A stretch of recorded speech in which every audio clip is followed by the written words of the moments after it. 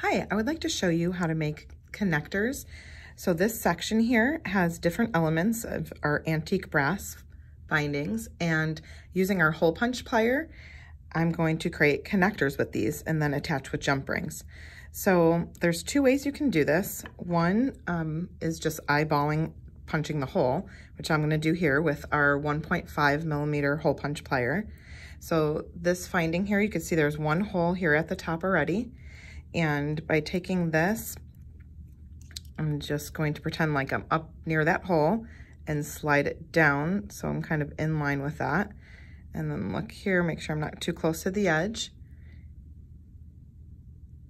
And then you're just gonna squeeze your pliers and that's gonna add a hole to the component.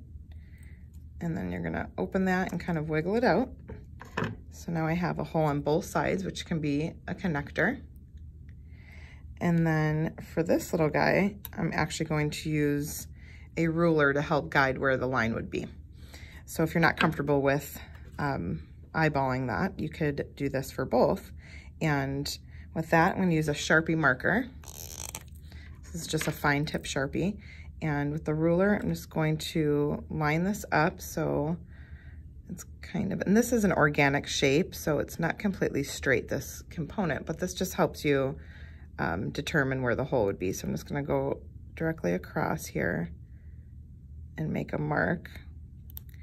So I have a little mark here on the part.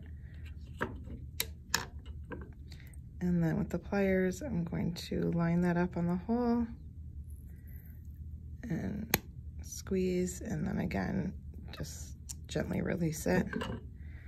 So then you have this fun little connector too. And then for connecting, I'm gonna use two pairs of chain nose and my jump rings.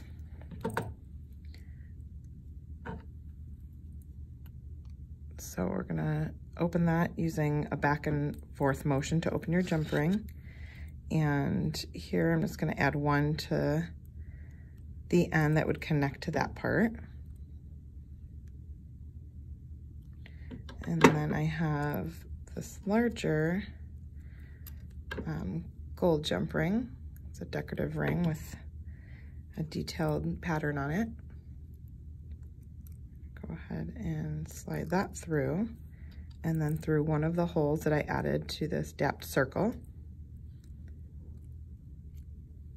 Go ahead and close up your ring. So now you have these two components connected here together.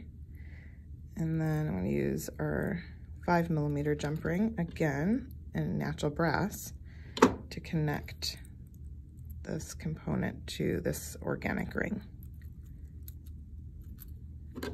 I love mixing metals. So here you'll see there's antique brass and gold components in this necklace.